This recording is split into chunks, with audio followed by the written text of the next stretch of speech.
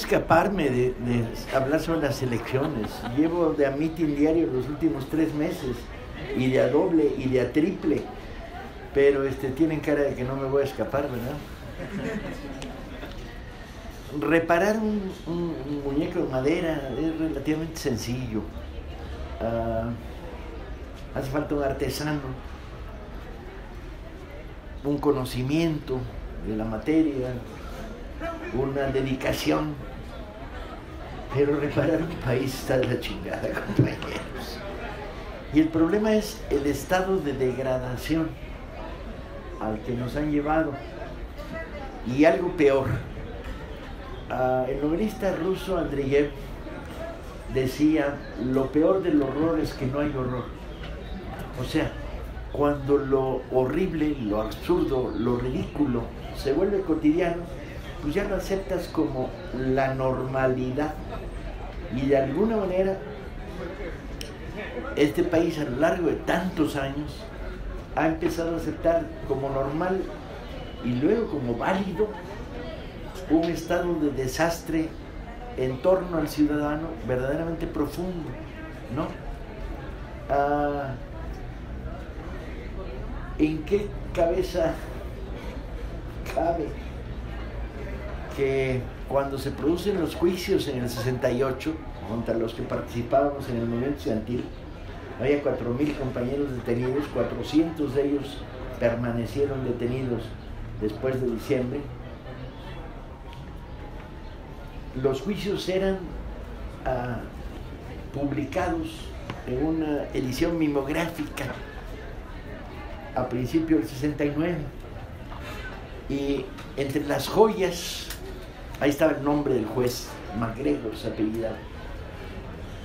Ah, las joyas de esos juicios eran verdaderamente inconcebibles, entraban en el terreno de las novelas de Kafka, si bien te va. Yo recuerdo una que me tenía particularmente indignado, que era la acusación contra un compañero al que acusaban de haber quemado un tranvía en determinada esquina, en determinada hora, determinado día. No más que en el juicio se probó que a esa hora y en ese día ese compañero estaba hablando en una asamblea de la Facultad de Filosofía de la UNAM ante dos mil personas. Había dos mil testigos de que ese día, a esa hora, no había podido estar quemando un tranvía. Estaba en una asamblea. Pero la parte chingona del argumento es que situaban la quema del tranvía en Palma el 16 de septiembre, donde no había vías de tranvía. Era el tranvía volador. ¿sí? Y segundo, ese día no se había quemado un tranvía, sino se había quemado un autobús y a tres cuadras de ahí.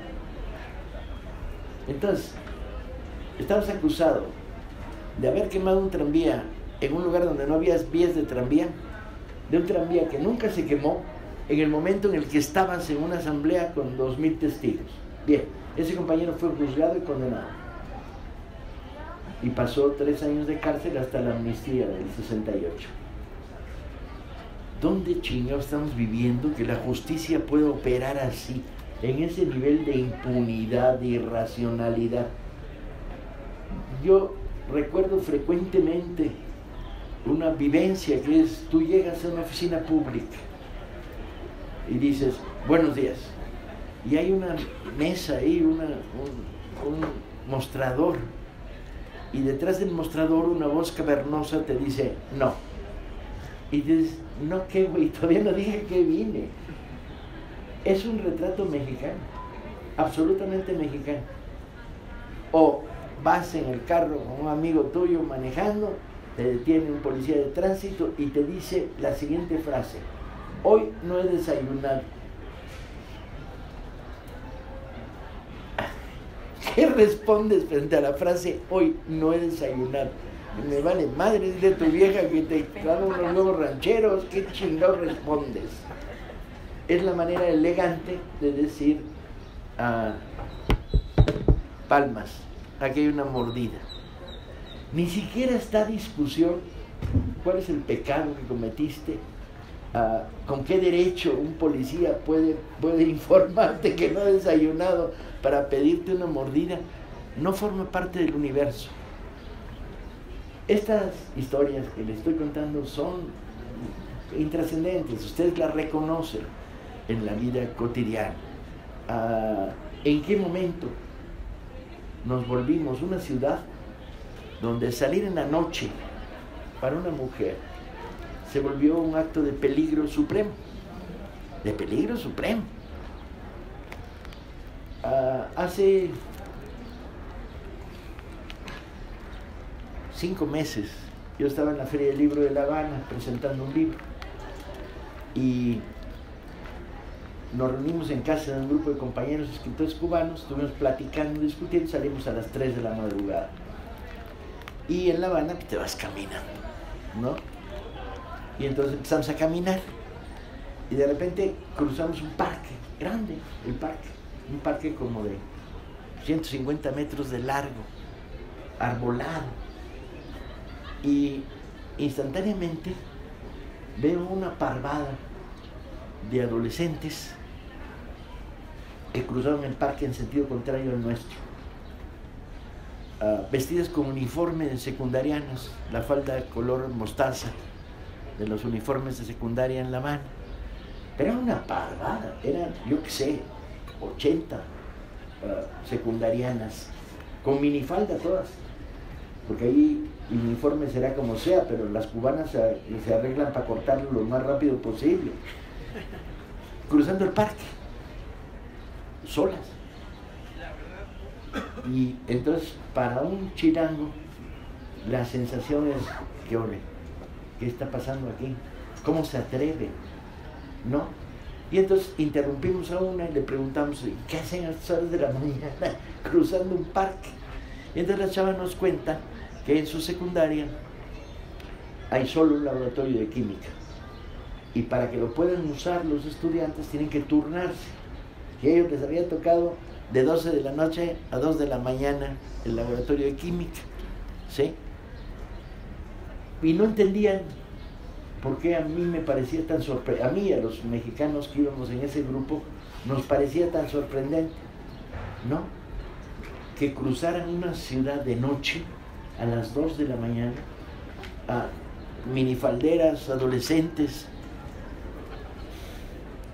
y yo les decía, Changa, ¿cómo les explico a estas muchachas que yo vengo de otra sociedad donde ser mujer en la noche y cruzar un parque con minifalda tiene una cuota de riesgo altísimo? ¿Cómo les explico a estas chavas todo eso? A las dos de la mañana, dos y media, además, pobrecitas ya se querían ir a dormir. Y me quedó la herida clavada. Sí se puede convivir en una sociedad en términos de desaparecer ese nivel de cota de violencia brutal.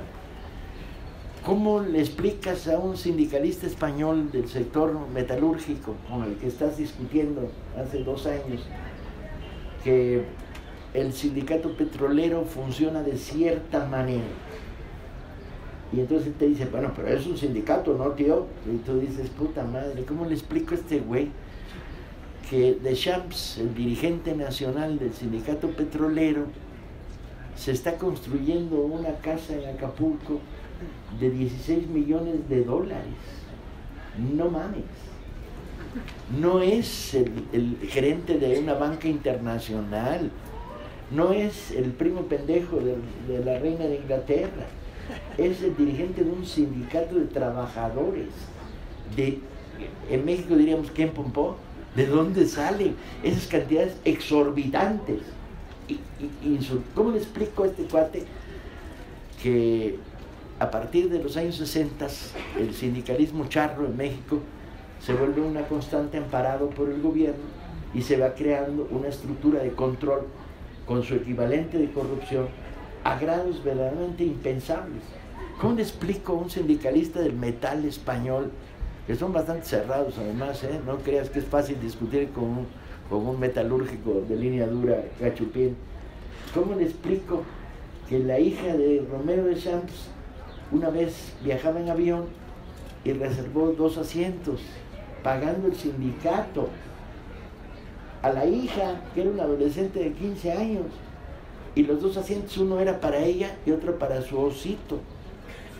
Hazme cabrón, favor, ¿cómo, ¿cómo puedes explicar estos niveles de irracionalidad absoluta, de abuso del poder, de corrupción sin límites? No hay límites, ¿sí?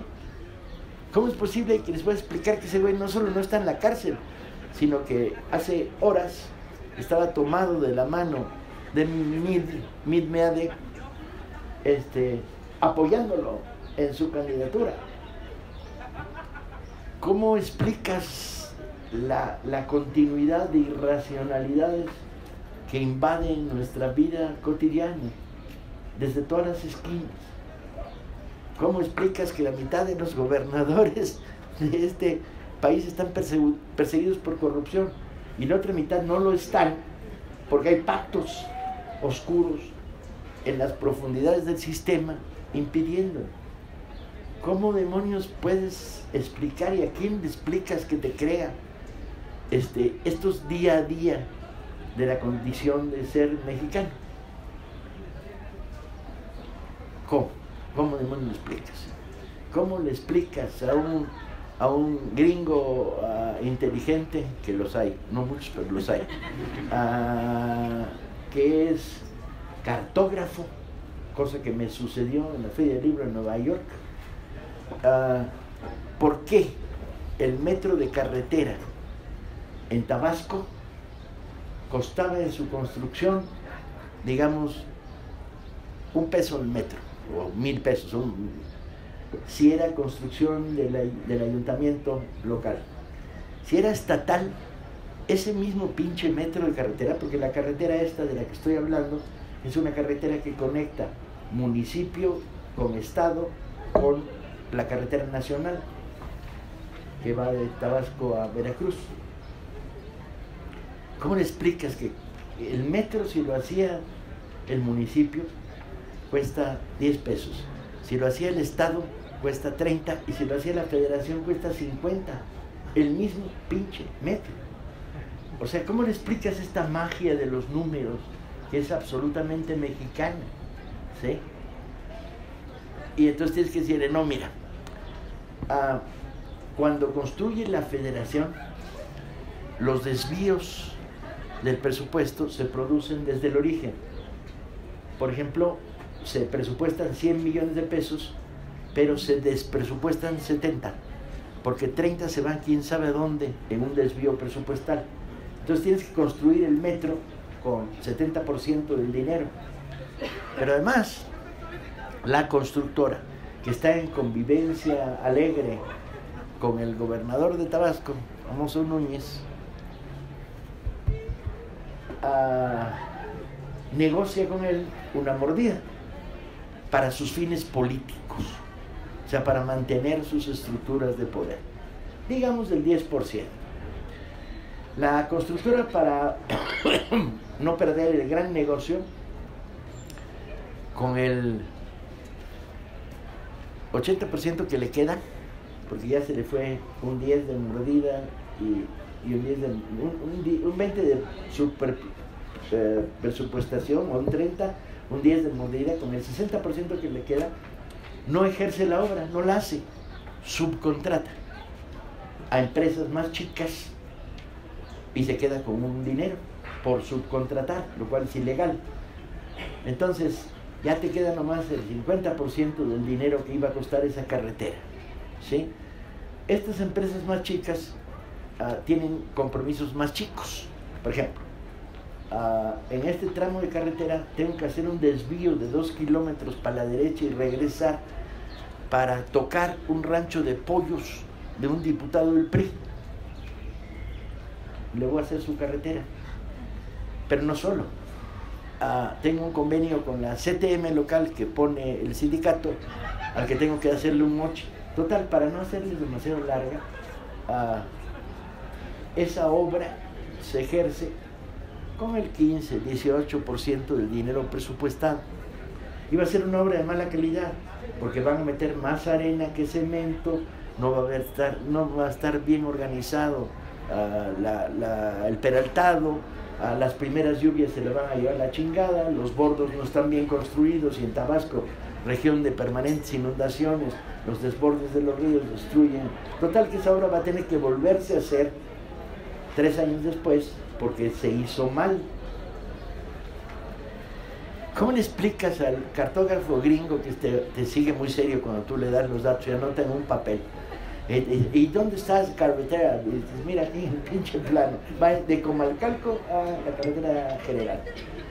Ah, ¿Y tú cómo lo sabes? Porque hablé con los compañeros que hicieron la construcción, hablé con el ingeniero que estaba ahí que decía, no entiendo nada lo que está pasando, esto es el, esto es el Chicago en la época de Al Capone y él decía, no, pero no se puede, decía el gringo. Dice, no mames, güey, no eres mexicano, por eso piensas que no se puede. ¿Sí? Se puede y más. Todo el sistema está articulado y teñido por una combinación maligna que tiene viejo tranco en la historia de México. Se genera en niveles de organización profunda en el gobierno de Miguel Alemán en los 40 y al grito de Uca Uca, el que lo encuentre se lo emboruca. y es el problema de la construcción, de una burguesía que no tiene eh, calidad de emprendedores, sino que mama del aparato del Estado en términos de corrupción, alimenta económicamente su poder para construir más poder político, para seguir una carrera de saltos que los lleva de gobernador estatal a senador, de senador a miembro del gabinete nacional, bla, bla, bla, y que baja hasta el carga portafolios 17 o el lame huevos 18, que es el cargo más bajo en la escala de la burguesía burocrática, que gana dos mil pinches pesos, ¿no? Pero que tiene la esperanza de, no, cuando el licenciado chingue, yo, yo haciendo con él, ¿no? Y yo voy a hacer lame huevos 6, que es categoría superior, y el carga portafolios aspira, voy a cargar el celular y ya chingué. Ah, esta, esta construcción ideológico, política, económica ha devastado el país, lo ha hecho pedazos. Ah, porque viene acompañada de multitud de cosas, por ejemplo la impunidad. ¿Quién hoy de ustedes se puede sentir seguro en un juicio en México? Cuando la estructura judicial viene de arriba hacia abajo, está señalada con el dedo. Cuando no existe investigación. Hay una estadística que a mí me gusta usar, que es aterradora, que es la siguiente. Si tú pones una panadería en este país, tienes 26% de posibilidades de triunfar. ¿De dónde sale la estadística? De los datos del INEGI. ¿Cuántas panaderías se fundaron en México en el año? ¿Cuántas supervivieron después de 3 o 4 o 5 años? 26% de triunfar. Si cometes un crimen en este país, y de nuevo son las estadísticas oficiales, ¿sí? Tienes 92% de triunfar. No vas a ser detenido por el crimen conquista. Y de ese 8% de detenidos, yo me pregunto, ¿cuántos son inocentes? ¿A cuántos se les arrancó la culpabilidad con tortura? ¿Sí? ¿Cuántos forman parte de un manejo ilícito en el que los verdaderos culpables se taparon con inocentes?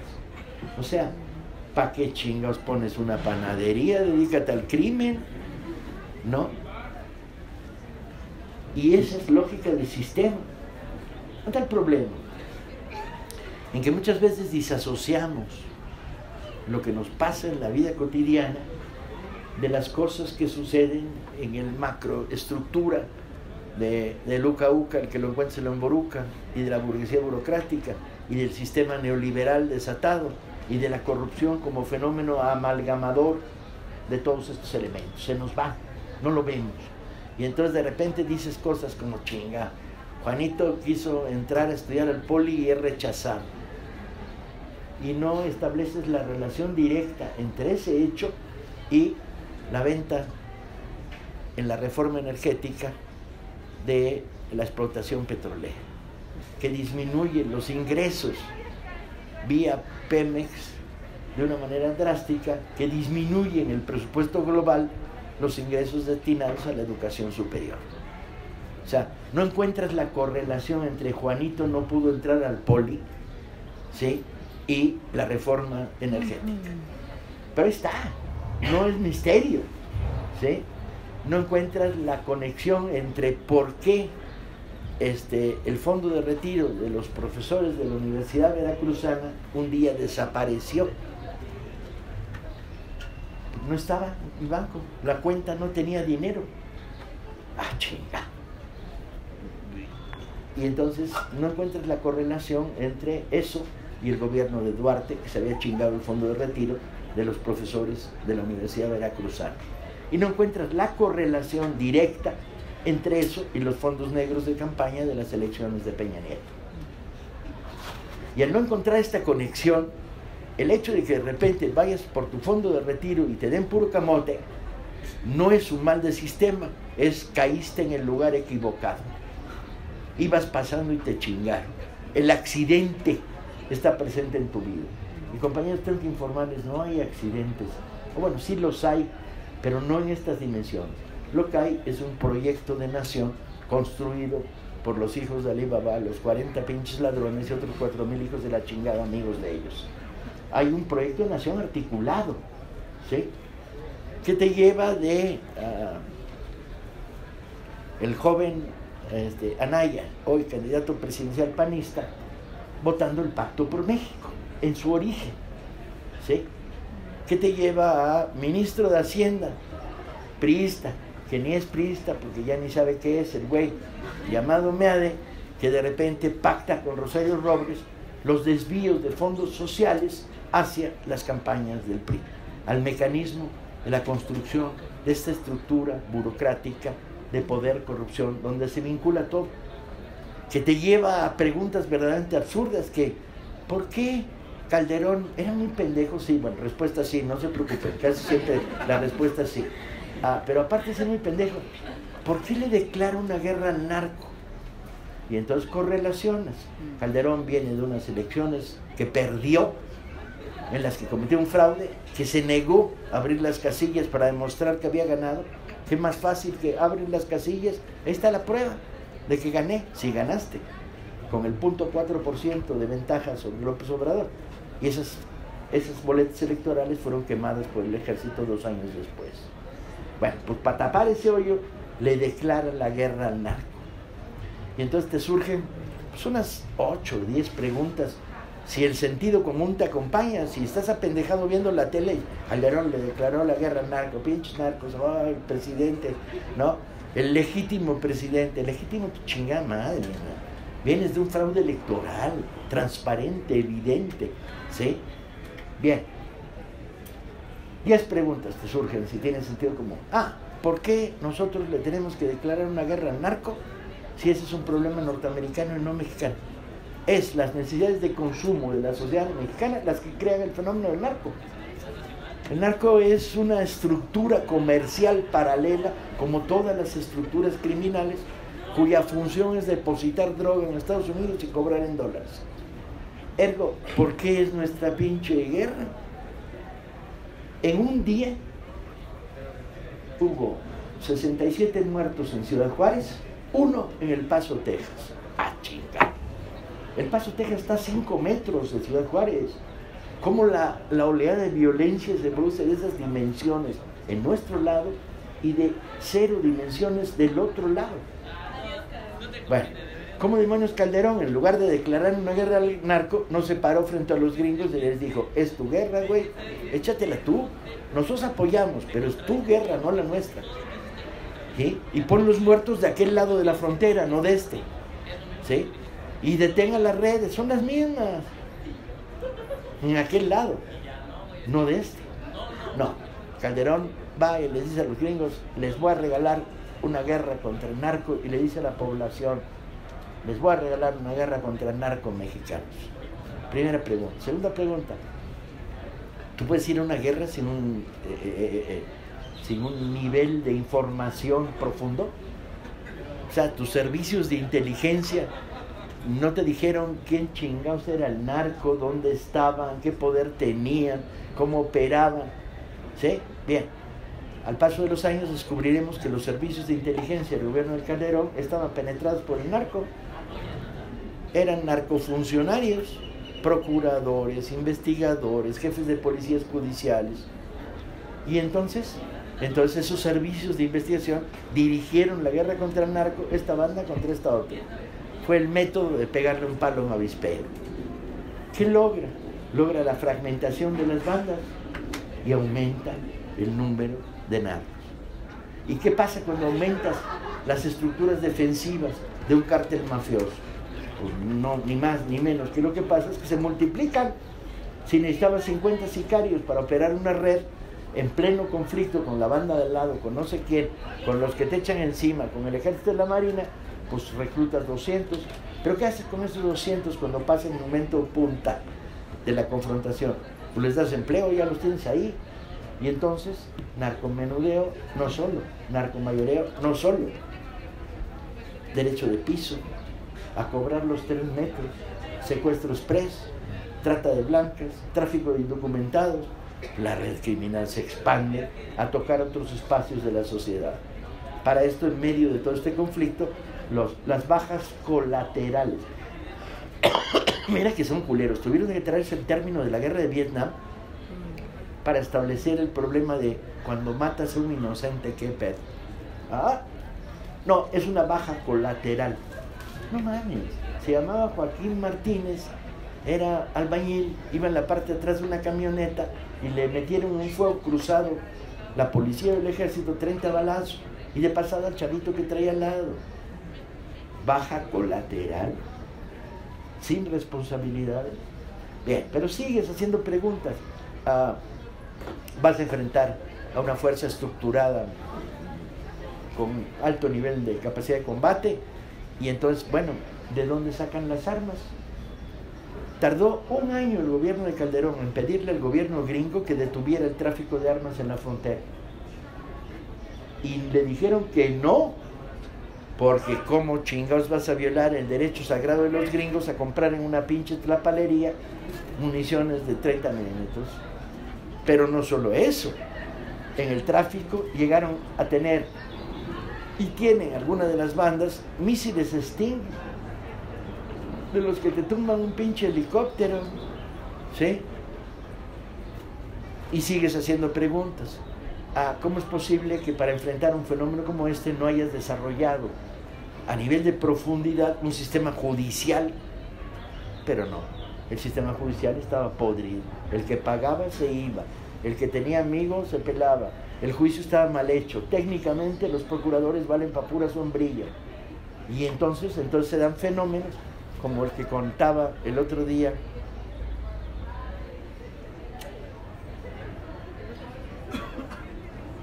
Pepe Rebeles, maravilloso periodista que ha investigado estos temas en seriedad y profundidad, contaba que el pozolero, ¿se acuerdan del pozolero? Sonó mucho, era uno que hacía pozole cadáveres. Su función era desaparecer cadáveres por la vía de hervirlos, ah, mismo que había pasado de ser vendedor de carnitas a, a desaparecedor de cadáveres.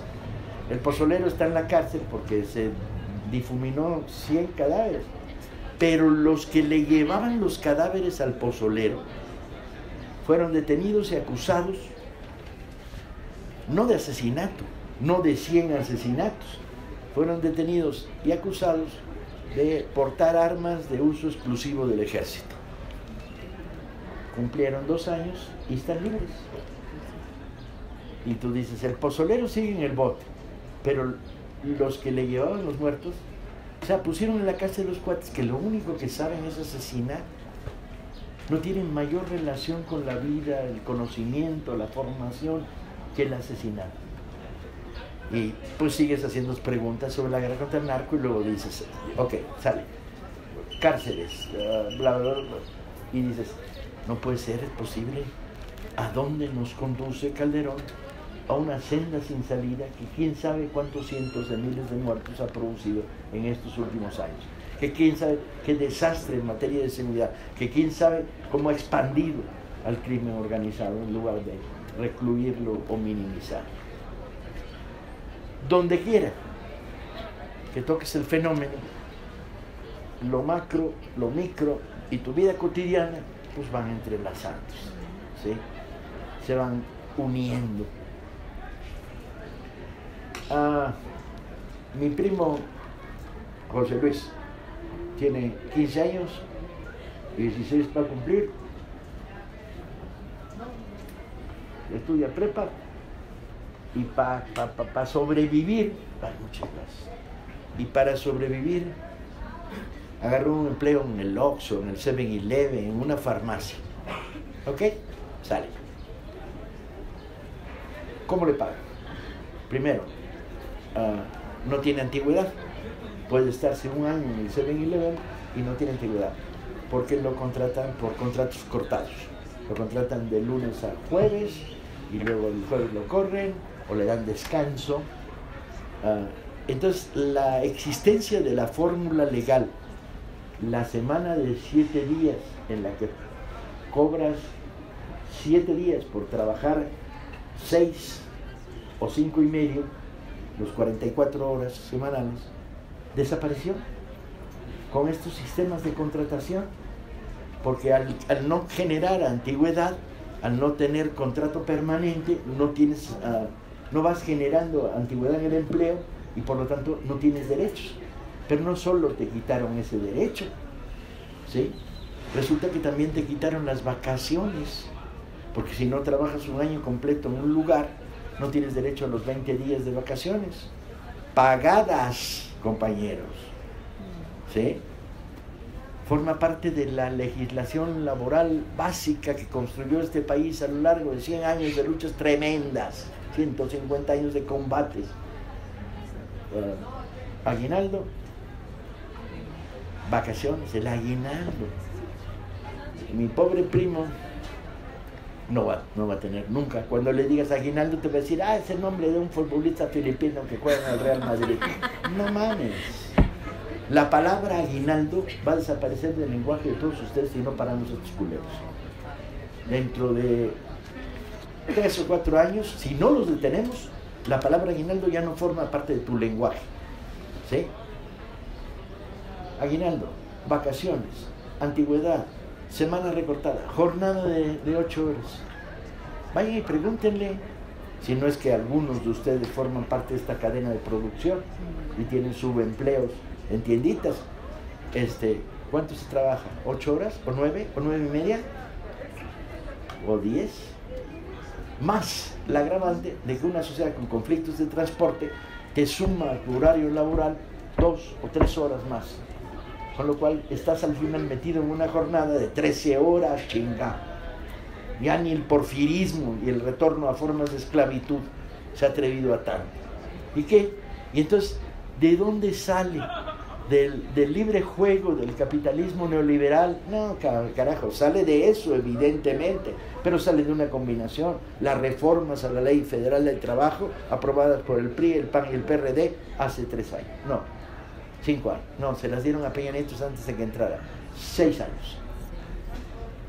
Que permiten los contratos temporales, las outsourcing, etcétera, etcétera, etcétera, etcétera. Y lo que viene detrás escondido que es toda esta normativa de nuevo tipo laboral que hizo desaparecer derechos. La conexión entre la pequeña historia, la de tu primo José Luis, la gran historia, el comportamiento de todo el pequeño comercio que atenta además contra las estructuras comerciales populares, como el mercado, etc. ¿sí? que combina con el gran comercio, que es el sector que más ganancias ha tenido en México, en este país, y combina con una casta política de Luca Uca que ha estado trabajando para que esta ley prospere y se establezca. Bueno, hay una reforma a la ley del trabajo todavía peor que la que tenemos ahora, con más agravantes, más pérdidas de derechos. ¿Por qué no está promovida? agárrense por la CROM, compañeros, por un sindicato, a través de diputados priistas de la propia CROM. Y estaba a punto de llevarse a las cámaras para que se aprobara, con lo cual nos obligaría a todo un trabajo de reconstruir. Vuelvo al origen de esta conversación. En este país, en esta ciudad, a una cuadra de aquí, robar un gancito marinela en una tiendita causa dos meses de cárcel. Si te cacho. No pagar salario mínimo, cero. Díganme ustedes, ¿cuál es el delito más grave entre los dos que le he mencionado? Robar un pinche gancito marinera que por cierto no se lo recomiendo porque la calidad ha bajado enormemente, la mermelada ya no es la misma y tiene menos chocolate que de costumbre. Ah, y además están promovidos por uno de los tipos que dijo a sus obreros, no voten por López Obrador, es un peligro para México. Un peligro para México eres tú, que además de bajar la calidad de los gancitos marinera, ¿no?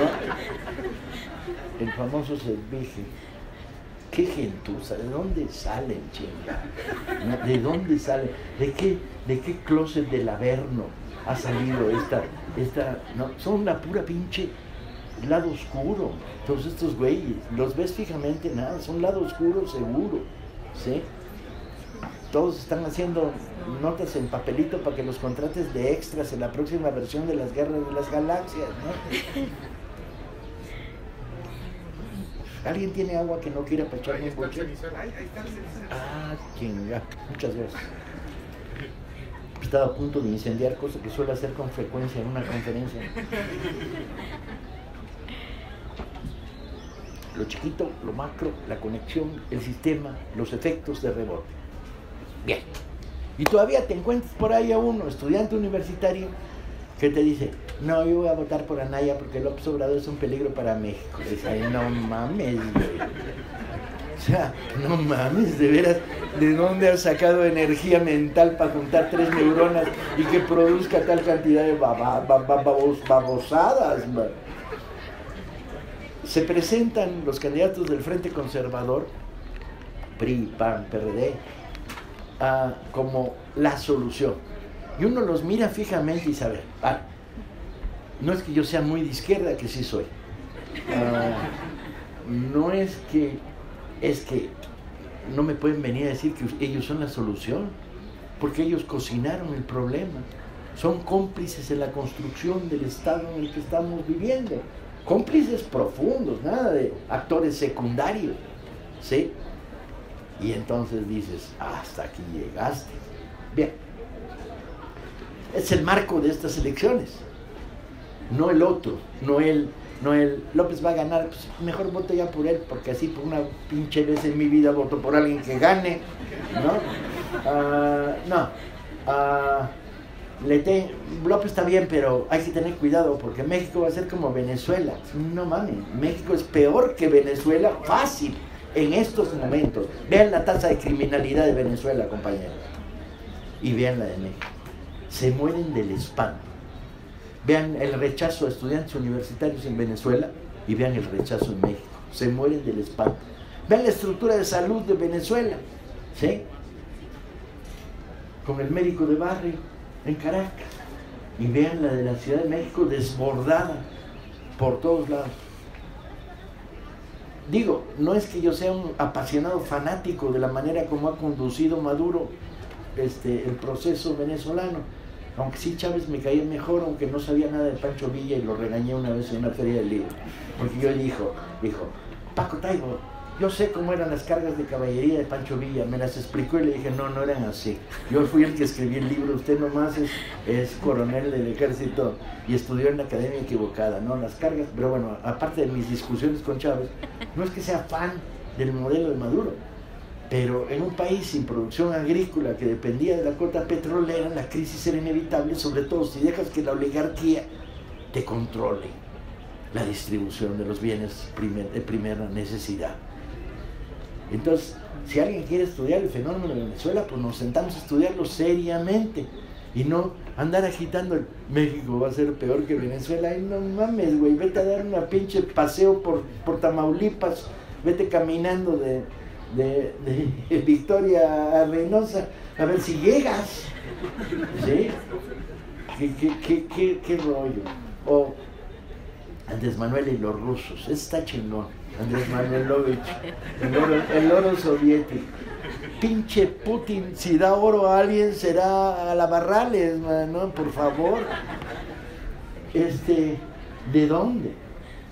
Entonces, eh, este clima de, campaña negra, de desconcierto, yo creo que ahora sí no pegó, francamente no pegó, porque se sumaron elementos. Primero el hartazgo, segundo, la prueba no quizá razonada, pero sí personal y visceral, de que el neoliberalismo no sirve como modelo económico, de que tú no desnacionalizas Fertimex cuando es una empresa que ofrece ganancias para darse al capital privado, porque así va a funcionar mejor. No mames.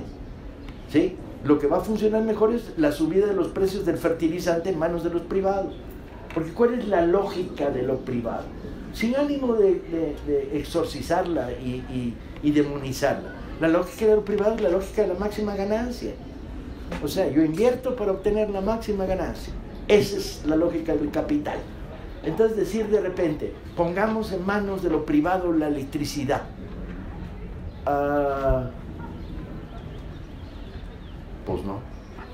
La electricidad es un servicio público. Llevar luz a este cerro no es rentable económicamente. Porque el costo del trazado de las líneas, los transformadores, bla, bla, bla, la mano de obra, cuesta mucho más de lo que los 32 habitantes del cerro van a poder pagar en los siguientes seis años. ¿Sí? Pero ¿y quién dijo que la palabra rentable está asociada a lo mercantil? ¿En qué momento nos convencieron de que lo rentable es un problema de pesos y centavos? No, señores, lo rentable es un problema social. Es rentable llevar la electricidad a los que no lo tienen de a partir del derecho a los servicios básicos que tienen los ciudadanos por vivir en el país en el que viven. Y los que pagamos más por la electricidad financiamos a los del pueblo, que toda madre, menos mal que eso sí tiene sentido. Tiene sentido que mi recibo traiga 13 pesos más porque le esté dando luz a una comunidad perdida en un cerro. Eso lo, lo admito, me gusta chingar. Lo que me preocupa es mis 13 pesos de luz a la bolsa de qué pinche funcionario, ¿no? Y de si mis 13 pesos más de gasolina se los está llevando este, el osito de la hija de de Deschamps. Pinchocito, lo tengo medido, ese pinchocito me, me, cae de madre que algún día me lo voy a rechingar y voy a hacer una quema del osito de la hija de Deschamps. No, ni más pinchocito, véanlo fijamente. Hay solo una foto, se ve de lado el pinchocito, pero seguro que va a tener unos pinches colmillos así, dientesotes, el puto osito. Ah, es un osito que viene del lado oscuro, hombre, el pinchocito. Sentido del humor, compañeros. Sentido del humor. Una izquierda sin sentido del humor, ¿saben lo que es? Es lo más parecido a la derecha que hay en el planeta. Triste, aburrida. Optimismo. ¿Por qué optimismo? Pues le voy a dar el mejor consejo que puedo dar en una charla como esta. Acéptenlo como un regalo de mi parte. Los pesimistas entre los que debe haber un chingo, porque por eso son mexicanos, y es como cultivo del pesimismo, sufren antes, durante y después. Los optimistas sufrimos nomás después. Chingar, es de sentido común. Es de sentido común. No, pero quién sabe qué va a pasar, a lo mejor perdemos. Chingazo, piénsalo, cuando perdamos, hoy, ¿qué pensemos? Hoy pensemos en el camino del conflicto electoral, sin que esta sea la solución a todos nuestros males, ni mucho menos. Se abre una puerta para romper la carretera que cuesta 10 veces más, para fumigar el pinchocito de peluche de la champ, para que haya inspectores de trabajo que vayan a las farmacias y digan salario mínimo, güey. ¿Sí? Para que se modifique la ley que hace que el gancito implique dos meses de cárcel y el salario mínimo no pagado no para que compañeros de esta universidad dotados de credenciales temporales puedan visitar la zona fabril del norte de, Xochimilco, obligando a que coloquen filtros contra la contaminación las empresas, reportando las que no la hagan, para que se cierren. El cambio está a la vuelta de la esquina. ¿Qué tan grande? No lo sé, pero de qué es posible, es posible. Y esa es la buena noticia. Hasta ahora en el discurso de la izquierda, que a mí no me gustaba nada porque era como muy entre retórico y demagógico, ¿no? Aquí trabajar con verdades tangibles. Ah, vamos a construir una patria para nuestros hijos. Pura madre, que la construyan ellos. ¿Sí? Vamos a construir una patria para cada uno de nosotros. vamos a asumir la responsabilidad personal que tenemos cuando nos despertamos en la mañana, vemos el pinche espejo, vemos al monstruo de Frankenstein que nos medio allí y que nos diga, ¿te la juegas? Y la respuesta es sí. Vamos a cumplir el compromiso que tenemos como ciudadanos de un país con el resto de los ciudadanos del país. Vamos a hacer el cambio nosotros. Y desde luego los marcianos no van a estar en el campo. Los marcianos están en el otro lado. Forman parte del lado oscuro. Porque nosotros, y con esto termino compañeros, somos el lado luminoso en tiempos como estos. Siéntense contentos.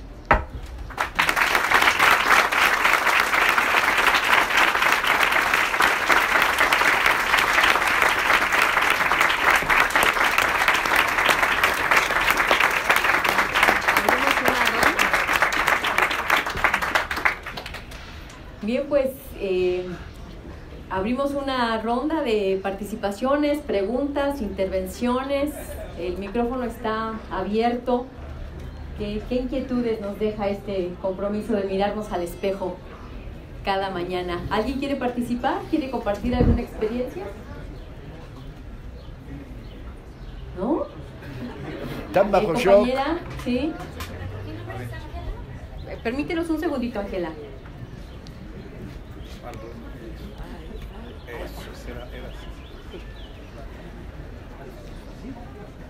Sí, sí, sí, claro. Jálale. Aquí está el cable. Dale, dale. Gracias, compañera. Buenas tardes. Eh, yo tengo una duda. Eh, mi nombre es Ángela, soy de la carrera de psicología. En, en trimestres pasados habíamos hablado sobre este tema y la duda de muchos es, por ejemplo, eh, con Andrés Manuel, en su grupo, en su gabinete este, sí, eh, tiene a varias personas que tienen un celular ya negro. Entonces, mucha gente he visto que tiene todavía esa inquietud de saber qué va a pasar si llegara a ganar él y con todo el gabinete que tiene dentro. Sí, yo creo que es correcta la duda. Es correcta. No tiene por qué gustarte. Andrés creó un frente en lo más amplio posible para ganar estas elecciones. Y se movió un frente hacia la izquierda y hacia la derecha. Y en este proceso llegaron gentes que algunos no nos simpatizan. Mejor me callo la pinche boca porque no es el momento para decirlo. Ah, pero son contadas. Lo que hay aquí son 30 millones de mexicanos votando. Ah, y bueno, si tienes dudas, yo creo que las dudas son importantes, son válidas, hay que mantenerlas. Piensa el siguiente paso. Andrés Gan va a crear gobierno y nosotros vamos a crear gobierno desde abajo. La sociedad va a decir, queremos que se acabe la guerra contra el narco, queremos que se reabra la investigación sobre Ayotzinapa, queremos que se vuelva, que vaya para atrás la ley federal de trabajo y que desaparezcan los contratos de outsourcing. Queremos que la política de salud esté dirigida hacia el médico de barrio. O sea, la sociedad no tiene opinión en este nuevo gobierno. Andrés va a recibir millares de presiones desde la derecha. Y desde abajo y desde la izquierda no va a haber petición, proposición. Entonces, ah, es correcto tener dudas. El que no tenga dudas, puta madre, que se vaya a Australia a vivir eh, haciendo surfing. ¿sí? No mames. El problema es poner las dudas en su momento, en su tiempo y en la acción. ¿sí? Yo te respondería eso. Y no te diría más porque ya me he metido en demasiados líos en estos años. Ya censura esa parte, José Ramón. aparece un pinche reforma diciendo, Paco dice, Van a expropiar. le vamos a expropiar. Es chistoso, ¿saben de dónde salió la historia? En, que- en una conversación como esta yo decía, en el hipotético caso de que Andrés gane, en el hipotético caso de que algunas empresas amenazan con salirse del país si no le responde a sus demandas, la misión, no de Andrés, de la sociedad, es decir, expropia. O sea, que uno proponía expropiar, la expropiación está consagrada en la Constitución, se define como un acto de interés nacional es un mecanismo defensivo de una sociedad ante los abusos del poder. La gran expropiación de este país pues, es la expropiación petrolera. ¿Y cómo se produce? Se produce a partir de las empresas están en huelga, los trabajadores, ah, pierden la huelga. El sindicato tiene razón, se va a la Suprema Corte, la Suprema Corte falla en contra de las empresas y las empresas no reconocen la Suprema Corte. ¿Qué, le queda a Cárdenas? Bendito sea Lázaro Cárdenas, vuelve. Hola, ¿qué tal? Primero que nada es un placer escucharte. Eh, y bueno, eh, bueno, voy a empezar con lo que dijiste al principio, que es más fácil tallar un muñeco de madera que reconstruir un país. Y en ese sentido lo que, lo que te pregunto es, ¿por dónde? ¿Por qué, creer, ¿Por qué creer en un sistema electoral como el INE? ¿Por qué creer en las votaciones todavía cuando hemos visto fraude tras fraude tras fraude? ¿Por qué creer todavía en un sistema político que de verdad nunca mira hacia abajo? ¿Por qué creer en ello? ¿Por qué, por qué aún seguir creyendo en ello? Eh, yo personalmente, como lo dijiste al final, soy una persona que se para todos los días, ve el espejo y dice, tienes que chingar y chingar el doble, por ti y por los que están contigo. Va, No sé, potente. Ah, ¿Por qué creer? No creas. El fraude viene, compañeros. Y el fraude en el que están involucrados de manera profunda, desde luego, en el DF, el PRD. Es increíble lo que han estado haciendo, increíble. ¿De dónde se están usando los fondos de la reconstrucción del temblor para financiar campaña negra de te regalo una lavadora? Ah, ¿Eh? Rotoplas. de todo, están soltando dinero de donde lo sacan. El fraude viene en términos de la pelea en las casillas para que una casilla que no esté vigilada de repente tenga mil votos en PRI, ¿sí? que nunca se produjeron.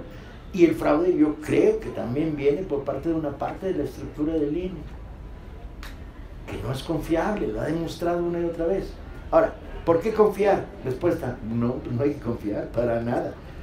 ¿Por qué, sin embargo, sí dar la lucha electoral? Porque es una coyuntura en la que millones de mexicanos van a participar, no los podemos dejar solos. En nombre de, no, pero yo tengo dudas de que un sistema como este, me vale madres, hay millones de mexicanos que quieren cambiar. Y además porque la intención de intentar cambiar este país por la vía pacífica es chingón. Cada vez que han producido fenómenos revolucionarios de minorías, han sido masacrados. El pueblo ha puesto a los muertos. ¿Sí? Entonces tratemos de llevar al límite la posibilidad del cambio por la vía pacífica, por lo menos abrir la puerta de este cambio. Ah, en ese sentido, a la pregunta de por qué hay que confiar, no. Tenemos 10 días de campaña a convencer a todo el mundo, ¿sí? Que podamos. Tenemos unas elecciones, a estar en las casillas, a vigilarlas, a impedir los carruseles en la medida en que podamos, a documentar, a retratar, a inhibirlos, a meterles miedo, a jalar al policía decir, oye, me voy a estos delincuentes electorales, el pinche policía se ese pendejo, no, joven, no, como si no, no, yo le pago su salario, venga y corre a esos güeyes que están tratando de comprar votos a una cuadra de la casilla, ¿no? Luego, las sábanas, cuidar que el registro de las sábanas es clave, porque es lo que verdaderamente se votó, para que no aparezcan sábanas fantasmas. Luego, la pelea contra el electrónico, ¿sí?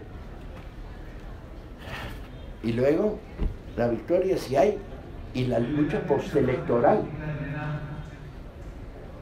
La teoría de Andrés, que yo creo que tiene sentido, no está jalada de los pelos, es si los desbordamos, el fraude tiene límites. O sea, el fraude da para 4 millones de votos. Si les metemos 14 de ventaja, los desbordamos y no les da. Tan creo que tiene sentido que los personeros y las voces de la derecha ya están diciendo Andrés va a ganar.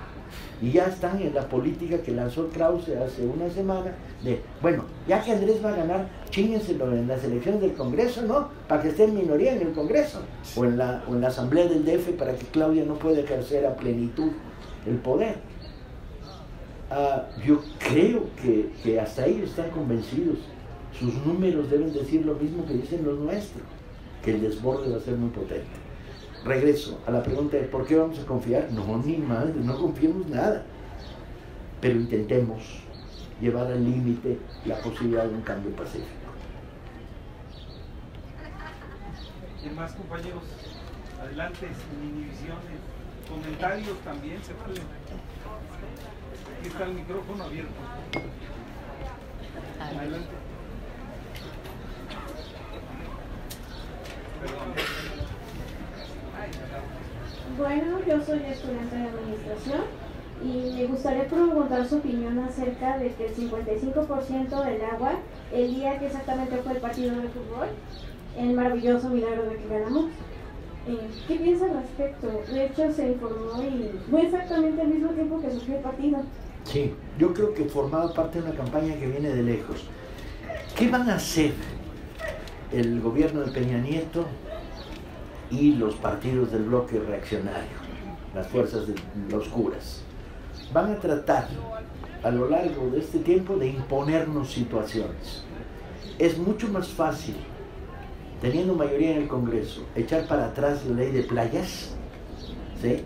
que la echas de un plumazo para abajo que si no tienes mayoría en el Congreso, donde tienes que, lo que tienes que hacer es desde la presidencia, los gobiernos estatales, limitar las partes más envenenadas de esa ley. ¿No? La ley de playas, ustedes ni se enteraron, pero Beltrones hace cuatro años la impulsó en el Congreso, es una ley que permite que la propiedad se extienda hasta la línea de mar. Anteriormente las playas eran federales y no podían venderse a particulares por lo tanto, si eran de la federación, eran de todos, chinga, ¿no? Al permitir la extensión de la, de la línea de arena a la línea de mar, lo que lograron de la propiedad, lo que lograron es privatizar las playas. Le pueden poner el hambre después de los dos lados y esta es propiedad de este hotel. Fue una ley impulsada por la mafia hotelera gringo-canadiense y por las mafias gachupinas de, de los consorcios hoteleros y se nos pasó en blanco, ni nos enteramos a qué hora nos quitaron las playas. Si tienes mayoría en el Congreso, la echas para abajo. Si tienes mayoría en el Congreso de un Estado, la minimizas, la reglamentas de tal manera que no los dejas privatizar. ¿sí? Ah, si tienes mayoría en un municipio, ¿no? O sea, dependiendo del nivel del triunfo, te va a permitir combatir esto en diferentes niveles. Puedes minimizar la ley de energía sin ganar en el Congreso una contraley. Por ejemplo, les vigilan los contratos, les reduces los derechos, aumentas el financiamiento de Pemex, le das derecho a Pemex a construir las famosas refinerías y rompes los contratos de refinación. Hoy somos un país petrolero que consume gasolina norteamericana. ¿En serio? Sí, en serio mandamos el crudo a Houston o a Dallas vía oleoducto y nos regresan gasolina. Es como decía Andrés, y la frase es muy buena, ah, es como venderle un güey naranjas y que te venda jugo de naranja, añadiendo tecnología agregada de la mano que exprime. No mames. Cualquier banco del planeta le da a Pemex un crédito para hacer una refinería, se paga en cinco años y dejamos de comprar gasolina y nos salvamos del valor agregado y no tenemos que estar apelando al gasolinazo para equilibrar los precios contra la gasolina Si es de ABC muchas cosas. Bueno, entonces, la pregunta es ah, el agua. Ya llevaban mucho tiempo. Hicieron un proyecto piloto en Mexicali y le salió como de la chingada. La raza se alebrestó y lo pararon Ahora viene esta segunda proposición que es complementaria. Lo que pasa es que no es legal ese edicto y entonces se puede echar para abajo muy fácilmente, pero quieren crear los compromisos. Así como entre julio y diciembre, cuando ganemos, se van a robar hasta los pinches clips, ¿sí? Yo no sé qué uso le puedes dar a los clips. Si encadenas 25 te los puedes meter por el culo. Ah, pero bueno, ah, más allá de estas perversiones, el Kama Sutra nunca estudió porque en la época del Kama Sutra no había clips. Este, ah, se van a ver hasta los clips. Va a haber un saqueo de lo público y va a haber la creación de compromisos, contrato firmado para que todos los lápices que se compren para los fondos de educación del Estado de Puebla, este, ya está firmado el contrato y es legal. Y entonces sí, pero lo vamos a hacer patrón. Entonces se aproxima un estira y afloje de estos últimos 10 días, pero va a ser mucho más intenso en el periodo de transición. Ojo, porque a lo mejor tenemos que salir a la calle. ¿Otra participación? Sí, por acá. Adelante, compañero. Perdón. Ok. Gracias. Eh, una pregunta, tú que conoces bien a Andrés Manuel, ¿crees que se avecine un proceso de regeneración eh, nacional? Muy independientemente de todo lo que implica la política mundial, la política económica en Latinoamérica, el Congreso. O sea, ¿crees que sí podemos como entrar a un proceso de regeneración? Sí, yo estoy, yo estoy convencido que la puerta se abre. Sí, en cuanto ganemos, la puerta se abre. Y de entrada, en mis sueños jarochos, condición particular de soñar, que se está soñando y suena la bamba, eso es un sueño jarocho. Sonrían, chinga. Me creo que están acostumbrados a las conferencias magistrales. O no mames. Ah, este, lo que digo es, si para tres cosas de entrada, que es corrupción, batalla de adeveras por arriba y por abajo contra la corrupción, detener la guerra contra el narco, sí, y uh, parar los proyectos neoliberales en la medida de lo posible e ir avanzando, rompiéndolos y deteniéndolos, si esas tres cosas se producen, estamos en un proceso de regeneración nacional, sin duda. Okay. La compañera aquí, Félix. Perdón. Y luego por allá atrás, ¿quién levantó su mano? Pues no sé, muy simple. ¿Qué haces cuando te desesperanzas? Reste, reesperanzas. A ver, compañeros, el desencanto, definido en términos de diccionario, perdonen que apele al diccionario en un momento trascendente como este, uh, es un paso posterior al encanto. O sea, no puedes estar desenamorado de alguien si no estuviste profundamente enamorado de alguien, no mames. Paso uno, paso dos. Los que se brincan al paso dos, me cae que son unos pinches profundos. ¿No? Estoy desenamorado. Pues si nunca le dijiste, güey. Digo, paso, paso A, B y C, que se entere. ¿No? Este, uh, entonces, eh, la filosofía del desencanto es el sumum del pesimismo. Si estoy desencantado, no me ilusiono. Si no me ilusiono, no me siento triste. No mames. Ya, mejor me siento triste desde ahora y entonces ya no hay bronca. Eh, el desencanto es un fenómeno pernicioso, pernicioso, producto de un pensamiento individualista muy jodido, que es lo mío, mi espacio, porque no compartes el encanto con los demás compartes el predesencanto, te presentas como sabio. Yo se los dije, culeros, esto iba a salir de la chingada. ¿Qué pinche placer puede haber en pronosticar el mal, chinga? El va a ser peor. Pues quizás sea peor, pero qué chingos placer hay en pronosticarlo. Me voy a casar mañana, pero me va a ir de la chingada. Bueno, bueno, bueno, bueno. Ah, por cierto, sí me pasó a mí en el primer ah. Yo sabía que me iba a llevar la chingada. Pero fue la guerra, pues lo, lo, que no vives no, no, está en el closet de lo vivo, de los recuerdos, de las experiencias. En ese sentido, abandonemos temporalmente el desencanto. ¡Qué prisa, chinga! Y sumémonos al encanto. ¿No sienten la ola? ¿No sienten la ola que viene? ¿No sienten que esta ola es una ola nacional? ¿No sienten que hay esperanza en un montón de lugares? Que hay ilusión en un montón de lugares, que hay una verdad, hasta los mudos la, la ven, la pueden. ¿Qué dijo? Que va a ganar Andrés. Los sordos la están oyendo, chinga la ola. Los ciegos la ven. ¿Sí? Hay una ola.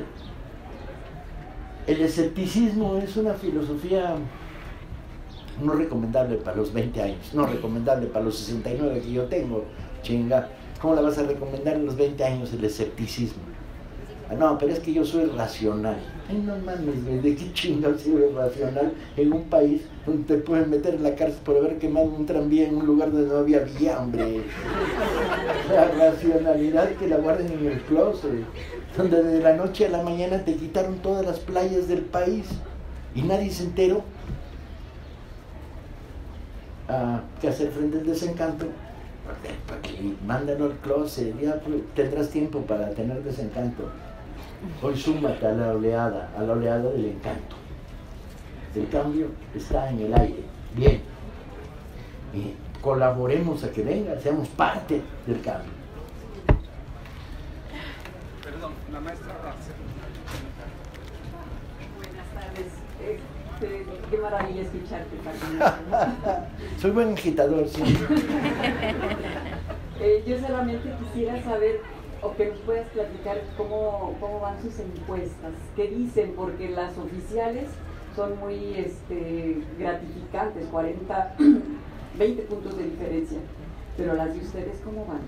Ah, no tenemos encuestas, porque la última vez que las tuvimos nos transaron. Ah, las que se están produciendo son locales, no hay una encuesta nacional. La encuesta de ayer en la noche del DF daba 42 puntos para Claudia, 24 para la Barrales, 12 para Al- Alegrías Miguel. En el nacional se habla de 52 para Andrés, porque se va a producir fenómenos muy raros. En algunos lugares van a votar conservador eh, gobernatura, pero van a votar Andrés como en Jalisco. Entonces son los números con los que yo cuento, pero yo cuento con un número mejor que es esto. ¿Quiénes van a votar? Levanten la mano. ¿Quiénes van a votar por Andrés Manuel y Morena, por los votos de Morena? ¿Quiénes van a votar por partidos del bloque reaccionario? Díganlo, no, va a haber represión aquí. Yo- esta es mi encuesta y lo veo. En esto, en las discusiones con el florero de la esquina de mi casa, que es organizador de Morena en el Estado de México, los tapiceros que me han estado chingando durante tres meses, ¡viva el PRD! Si son ustedes tapiceros, culeros, vuélvanse personas.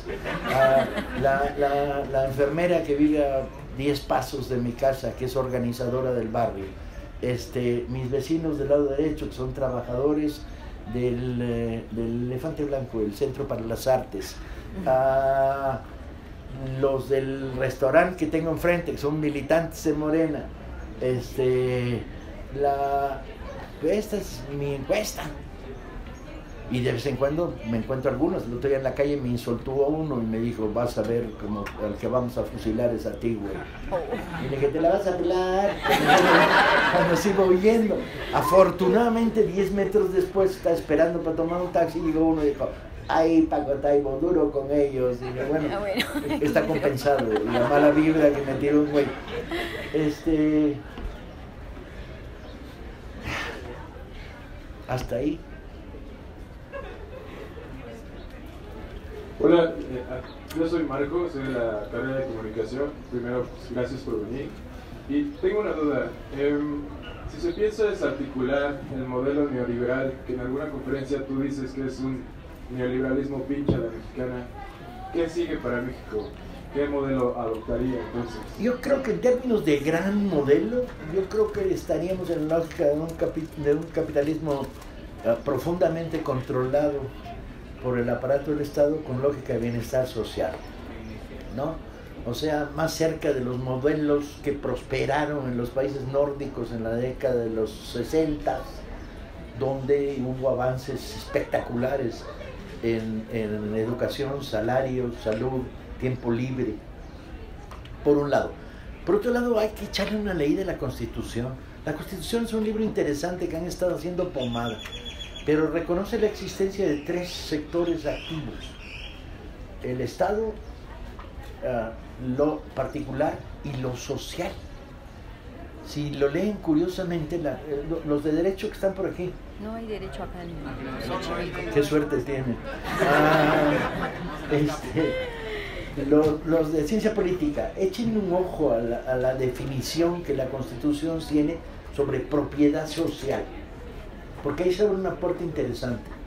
La cooperativa, ah, las formas de, asocia- de asociación que no pasan por el, proyecto económico capitalista tradicional.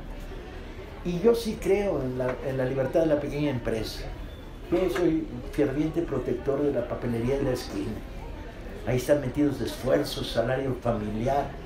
Yo soy un anticapitalista tradicional en el sentido de antimonopólico. El gran capital tiene comportamientos perversos, pero el pequeño capitalismo no me disgusta, ¿no? ah, me parece estimulante, forma parte de la lógica del riesgo. Las economías de mercado que se propusieron en la Europa pseudo-socialista, pues eran unas economías de mercado forzoso. Te va a tocar un coche, ¿no? Yo decido si quiero un coche o quiero gastármelo todo en libros o quiero gastármelo en vivienda. Esta libertad del mercado, yo creo que no deberíamos subestimarla. Hay que hacer una lectura nueva de la sociedad en términos de aprendizaje, de lo que fue los proyectos socialistas, de en dónde fracasaron, de dónde el capitalismo mostró sus caras más perniciosas y de dónde están surgiendo fenómenos aberrantes, como el capitalismo stalinista chino, chinga, ¿sí? donde se combina dictadura de partido con superexplotación de los trabajadores, vuelta madre, lo peor de los infiernos, ¿no? Entonces creo que hay que repensar el modelo hacia una sociedad más justa, más libre uh, y, económicamente menos castigadora del ciudadano, ¿no? En principio yo creo que los servicios públicos son función del Estado y que esto implica que cantidad de cosas, como la distribución de los bienes básicos, por lo tanto el estímulo de cooperativas de consumo en todos los barrios de nuestras ciudades, con productos traídos directamente del campo, forma una lógica de nuevas formas de propiedad social que habría que estimular. A lo mejor lo que creamos es pura pinche burocracia y fracaso. Pues esta es la experiencia. Pero en principio había que probar, porque si no la salida es Walmart, colegas. Participación. Paco, eh, mi nombre es Iván, yo soy un baboso que vino aquí a escucharte. Eh, mi pregunta es, ¿qué opinión te merece la, la, coyuntura entre Morena y el Partido Encuentro Social? Nada más fue para no quedarnos atrás en una alianza perversa como la tuvo el PRD y el PAN, que ni en mis horas de agonía pensé que sucedería. Es el momento de decir sin comentarios. Ah, porque están grabando, carnales. Y luego el rejuego de las contradicciones internas lo utiliza la derecha de mala manera. ¿sí? Serias contradicciones entre la militancia radical de Morena, etc. Ah, Yo ya le corté. no, vaya, chingado, no hay un celular, hay un enemigo del pueblo. Ah, no, no es el momento sabido es que no simpatizo con las posiciones más conservadoras de la cúpula de encuentro social. Uh, sabido es que no veo mal la alianza, sabido es que cuando estaba echándole el aburridor a un compañero en Michoacán, me dijo, te equivocas, Paco. Dije, ay, güey, me encanta equivocarme, dime por qué.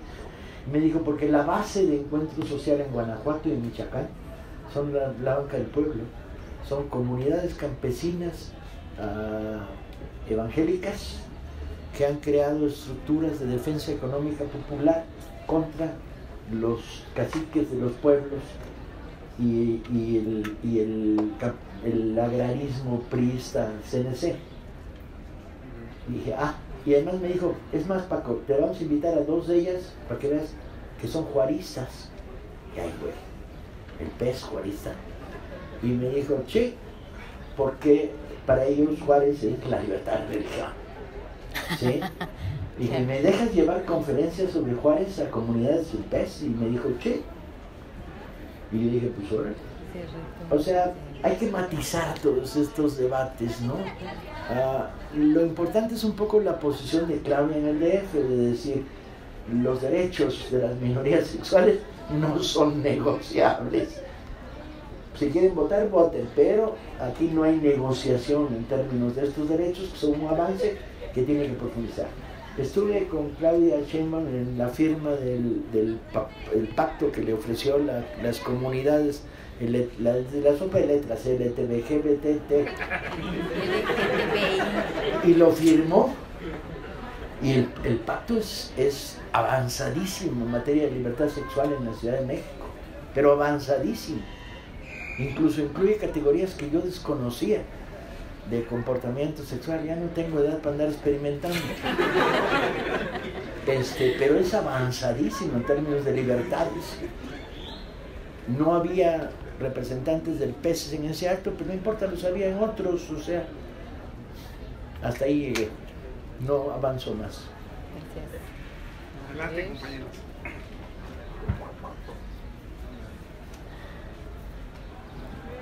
Hola, ¿qué tal? ¿Qué opinas de la gente fanática, digamos es fanática, que es la que exactamente aporta este miedo a, a la sociedad? Es esa gente que, que, no puede escuchar un mal comentario o una crítica hacia Andrés Manuel, porque inmediatamente es, ah, tú, magia A ver, queremos construir una izquierda que tiene una esencia, que es moral, chinga eres de izquierda porque moralmente no estás dispuesto a aceptar como justo y válido que en esta ciudad se ríen campos de golf y no hay agua en esta palabra. De entrada, es un problema moral. No acepto. Bien, queremos una izquierda que tenga como bandera el pensamiento crítico, no la doctrina. Y en ese sentido, uh, compañeros, flexibilidad, escuchemos, critiquemos, discutamos, poniendo por por el centro lo que está en el centro no la divergencia, sino la unidad. Cuando yo, que formé parte de la izquierda sectaria, también tiene uno de sus momentos originales, uh, entraba en un salón en 68, poco antes del movimiento, y decía, no, eso es trotskista, aquellos son anarcos, yo soy maoísta de la línea limpiado, este, no sé qué, buscaba lo que nos diferenciaba. Yo ya aprendí, cuando me reúno con ustedes, busco lo que nos une, ¿sí? Lo que nos une Luego ya estableceremos el debate sobre la diferencia en términos de un debate fraternal y no un debate enconado por razones de pequeño poder. Tenemos esa cara de la intolerancia en nuestras propias filas, ¿sí? Ah, que se expresa en opiniones como, ah, no voy a entrar al debate porque tampoco quiero pelearme con la extrema izquierda con la que tengo gran simpatía, porque al fin y al cabo compañeros en lucha respetables pero tenemos otra intolerancia muy divertida que viene del pensamiento conservador. El otro día me llegan y me dan una cinta. Y la cinta era una homilía de un cura en un pueblo de los Altos de Jalisco, que desde el púlpito, el día de las elecciones de Peña Nieto, dijo, textual, ¿eh? Uh, y no voten por Andrés Manuel, porque va a ir por las casas quitándole los zapatos a los niños pobres. Dije, y esto en una iglesia, en domingo, en el púlpito, absolutamente ilegal. Bien. Pero era bien chingón, ¿no? Porque yo pensaba, ah, ¿por qué le quiere quitar los zapatos a los niños pobres y no a los niños ricos? ¿No? Digo, ya puestos en el caso, pues mucho más sensato que vaya recorriendo las casas de los niños ricos para chíngale sus zapatos. Y luego me lo imaginaba Andrés. con su acento con su costal, ¿no? Eh, aquí el niño, el pobre, chíngale, echen los zapatos. Era tan delirante, tan delirante, que decía, ¿en qué cabe? Pero esos miedos irracionales prosperan en capas de la población. El otro día una amiga de mi amiga Betty le dijo, porque Andrés va a revisar el catastro y a los que tienen dos casas les va a quitar una. Estás cabrón, de veras, de veras piensas que en ese nivel de irracionalidad a combatir, o la discusión con un cuate en Veracruz que es funcionario priista, me decía, yo tengo miedo, sí, Andrés. Yo le dije, ¿cuántos millones tienes en el banco? ¿Tienes 5 millones de dinero mal habido? Me dijo, no, tengo 32 mil pinches pesos. Le dije, entonces no mames, güey, que tenga miedo el que tiene 5 millones de dinero corrupto en el banco. Ese sí, entiendo que tenga miedo, porque alguien va a preguntar de dónde lo sacaste, quién pompó. Pero tú, güey, este, que tienes 32 mil pinches pesos en el banco, qué chinga te angustia. O el cartel que apareció en el poste enfrente de mi casa, ¿no? Que decía, Andrés Manuel va a cerrar las iglesias y a expulsar a los curas. Estás cabrón. El que lo imaginó, de veras, qué pensamiento extrañamente maligno tiene. De veras es el lado oscuro de estos güeyes, ¿eh? Primero, si, si cierran las iglesias, ¿dónde va a ir a rezar? Andrés es creyente. Yo no. Yo no tengo problema con que cierren algunas iglesias, las que quieran cerrar. Yo respeto el derecho sagrado de cada cual al creer en lo que le des y lo defenderé a muerte. El derecho sagrado a que alguien crea en un ser supremo. incluido el gigante verde, chingas, y andan muy pinches desatados, pues. Incluso veo con simpatía a los caricrishnas y a los aztequistas delirantes, porque, bueno, es, es, es forma parte del derecho, pero Dios en el cielo, nosotros en la tierra, y, y, la campaña negra y sucia, expulsar a los curas, a Solalinde también lo va a mandar a, a Guatemala, o qué pedo, y a ver, ¿y por qué expulsarlos? O sea, ¿dónde Andrés ha dicho alguna vez o pensado alguna? Pero esa campaña está en el aire. O sea, es cierto, hay un fanatismo por la izquierda sectario que forma parte de la existencia de un pensamiento sectario en nuestras filas. Uh, y hay un pensamiento super sectario y super reaccionario por la derecha, delirante. No sé si fue aquí donde hacía la, la análisis sobre la prima pendeja. ¿Fue aquí en Azcapotzalco? Sí. En Xochimilco. Ah, fue en Xochimilco, con razón. ¿Aquí es Xochimilco? Sí, ya contaste la Ah, todo, vamos a hacer ciencia, ¿ok? Durante un momento nada más, vamos a hacer ciencia, Pero no sea- exageremos. hoy que sea Ah, pendejo el primo. todos los mexicanos tienen un primo o una prima pendeja. Levanten la mano los que estén de acuerdo en esta afirmación porque es un hecho. Levanten la mano los que no estén de acuerdo. Bien, uno. Bien. Ah, hubo varios que levantaron tres dedos. ¿no? El primo o la prima pendeja es un factor estadístico. No va a votar por nosotros. No va a votar por los candidatos de Morena. Le gusta Ricky Ricón. ah, tiene un papá que es que es este funcionario público medio corruptón y le está protegiendo su futuro. Ah, y ya se cerró, está enconado. Pero el papá de la prima pendeja tiene posibilidades. Vamos sobre él, vamos a convencerlo. ¿Sí? Se aproximan una semana interesante, una lucha profunda electoral y, una, y un ep- epílogo igual de complejo, profundo, etc. Vamos viviéndolo, ¿no? Que no digan, que nadie nunca pueda decir, yo estaba mirando cuando pasó esto. Así es. Ahora sí están muy platicadores los guameros. Buenas tardes, este, tengo una pregunta. Este, ¿Qué tanto puede garantizar el acabar con la corrupción la legitimidad del Estado cuando este no depende de una sola persona, en este caso AMLO, sino de toda la administración pública envuelta en problemas como la relación con el narco- narcotráfico, violencia y etcétera? No hay garantías. Lo que sí hay garantías es de dos o tres cosas. Ah, las escaleras se barren de arriba abajo. ¿Ok? Si no tienes a alguien barriendo arriba, no combatimos la corrupción. Si no tienes 30 mil funcionarios honestos, va a estar de la chingada combatir la corrupción. Y no los hay, me canso que los hay. Que de esos 30 mil lleguen 30 mil honestos y 400 deshonestos, son una minoría, siempre va tiempo por correrlos. Pero necesitamos crear la pinza. Para combatir la corrupción necesitas el funcionario que barre y el ciudadano que denuncia. Si creamos la pinza, nos los chingamos. Si de repente dicen, soy médico de esta unidad ah, y no llegaron las camillas, y no llegaron las medicinas, y no llegaron los bisturíes, y le eleva la demanda, y en el sector de salud de esa zona tenemos un compañero honesto, nos chingamos al corrupto, creamos la pinza. Entre otros hay que crear una cultura social, es no doy mordida. Soy mexicano, a mucha honra, no doy mordida. Y esto tiene que ser una potente campaña cultural educativa. No doy mordida, no me avergüenzo, no me rebajo, no colaboro la corrupción. Tenemos que hacer una campaña educativa y usar para eso las televisiones, la radio, para crear una nueva conciencia. Yo creo que es viable, ¿eh? combatir la corrupción es viable.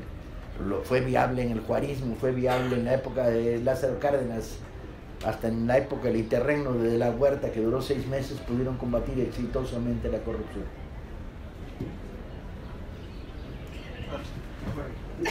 Ah, soy Alan, ah, voy para Política y Gestión Social. Eh, independientemente de su postura, eh, ¿qué opinan las candidaturas independientes?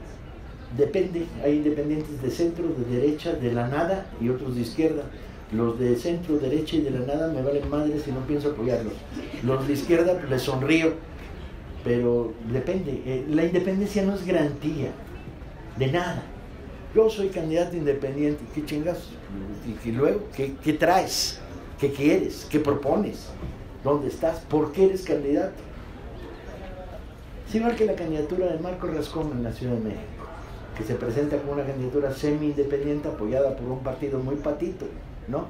Y tú de veras quieres restarle votos a Claudia, ¿para qué? ¿Qué sentido tiene? ¿Qué de nuevo aportas? Entonces, las candidaturas independientes no me ofrecen garantías per se, como muchas de las candidaturas de Morena no ofrecen garantías per se. Pero pues qué, voten en escalera, compañeros, todo Morena. Más, más está el teléfono, el teléfono, el micrófono. Perdón.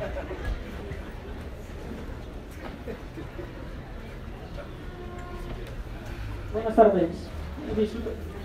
Ah, tengo una pregunta. ¿No cree que se tendría que controlar la creación de partidos políticos? Porque son millones de pesos los que se gastan en sus campañas. O sea, Morena nació de un partido político que se separó Andrés Manuel de otro. ¿No cree que tendría que controlarse esa situación de ya no crear más partidos políticos y hacer como en Estados Unidos uno de izquierda y uno de derecha y ya? No, en Estados Unidos hay uno de derecha y otro de derecha. Ten, cuidado en la valoración. No, yo creo que el derecho a que la sociedad se exprese en un partido político es, es legítimo. El problema es partidos políticos, patito, que están viviendo de los presupuestos. Y en ese sentido hay que recortar los presupuestos. No podemos tener campañas de ocho meses. ¿sí? No podemos tener funcionarios de partido por todos lados. Lo que hay que hacer es recortarle el gasto a los partidos políticos no el derecho a crear partidos políticos encontramos un núcleo de afinidad. En esta campaña hay sectores que no están representados. ¿eh? El que Marichuy no haya llegado es una falta de representación. Entonces, negarle derecho al, al, Frente Indígena Zapatista a tener una voz, a mí me parece injusto que tengan su... Y al mismo tiempo tienes fantasmas como el Bronco que solo lo dejaron estar en la campaña para tirar mierda y que llegó con votos con firmas falsificadas. ¿sí? Yo creo que la campaña va a barrer. En la Ciudad de México va a barrer con,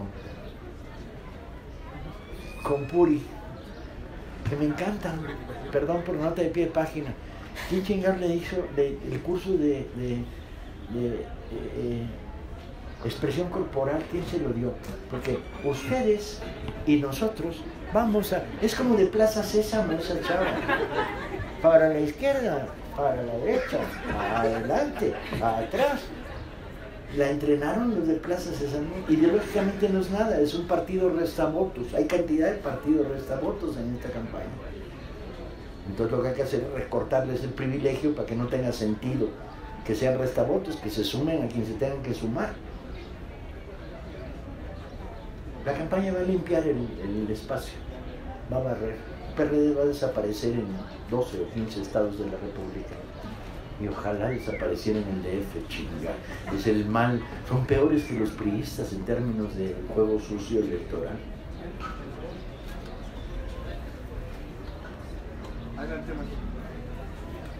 Bueno, a mí me gustaría que nos explicara, bueno, de manera muy general, ¿cuál es la estrategia que, que AMLO está planteando para combatir la violencia, que es algo que yo creo que a la sociedad nos preocupa muchísimo. Esta malinterpretada o bien interpretada amnistía Sí. que se ha utilizado para decir que va a perdonar a los criminales, sin embargo es la única propuesta diferente que se ha hecho respecto a cómo combatir la violencia.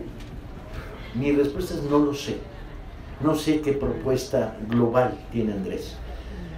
Hay algunos indicadores. Hay que discutir la legalización de las drogas, bien sea de las blandas o de las duras o de todas. Mi opinión personal es que hay que legalizarlas todas, que la sociedad... o sea, hay puro juarismo, el respeto al derecho ajeno es la paz hasta que interfiere con el derecho personal. Cuando un derecho ajeno eh, afecta los intereses de terceros, ahí ya no es derecho, es abuso. Entonces, en ese sentido, si la gente se quiere envenenar consumiendo este, cáscaras de plátano o marihuana de baja calidad como fuman los del verde, este, muy su bronca. Ah, la legalización significaría quitarle las cajas chicas al narco y crear empresas de Fox que iban a vender Tijuana Dreams, Acapulco Golden en paquetito, ¿no? Este, en la calle. Que esto estimule el consumo, pues depende si vinculas legalización con una batalla contra los efectos de la droga en, la vida diaria y le metes todo el dinero que sacas de los impuestos a decirle, si te metes heroína, güey, estás condenado, un tipo de adicción, que esto y esto y esto, ¿no? Tendría sentido. Yo creo que es una parte. La otra parte, obviamente, es la idea de amnistía, pero dirigida a la infantería del narco, dirigida a, a campesinos cultivadores que cultivan porque no les queda de otra, al pequeño chavito que está ahí distribuyendo. O sea, llevar la amnistía hacia los sectores de base del crimen para neutralizarlo. La tercera es política social. El director de una casa de cultura en Juárez decía con mucho sentido común que si él lograba que un joven se enamorara de la guitarra clásica española, se lo quitaba a los sicarios.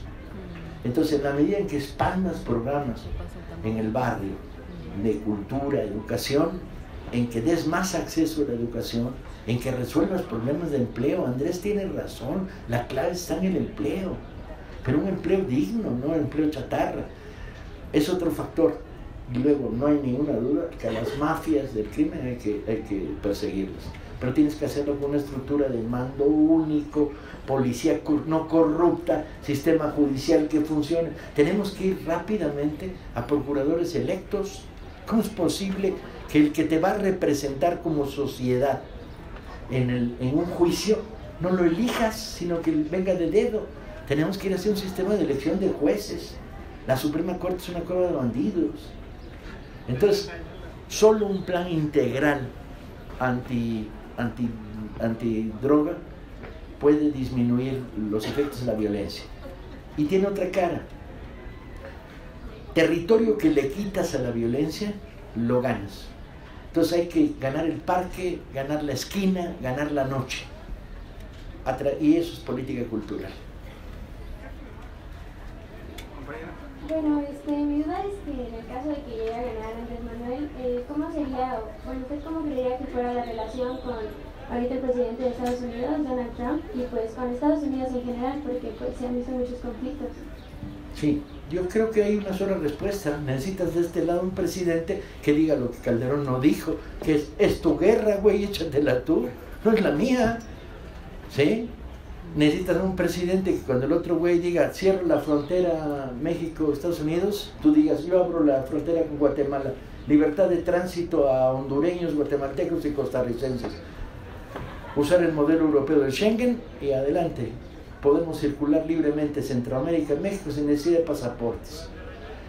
Si les metes sustos de ese pinche tamaño, te tratan como país y no como bola de mayordomos y cipayos de ellos. Yo creo que necesitas fuerza para tratar con un delirante como Trump y que solo respeta la fuerza. Eh, hola. Eh, yo tengo una duda eh, respecto a la amnistía.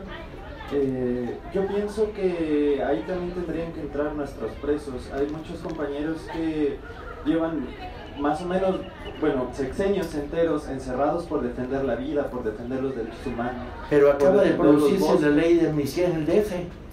Eh, hace cuatro días. Ok, eh, bueno, eh, eso yo creo que es un gran avance y habremos que presionar para que nuestros compañeros presos políticos estén liberados, pero hay muchos compañeros presos a nivel federal que creo que entrarían muchísimo antes, o sea, una ley de amnistía, no sé si entren dentro de la ley de amnistía que plantea López Obrador o plantear una distinta para todos los presos que estas reformas neoliberales han generado a lo largo de los años. No hay duda, hay presos en el eh, magisterio, en el sector campesino, un montón.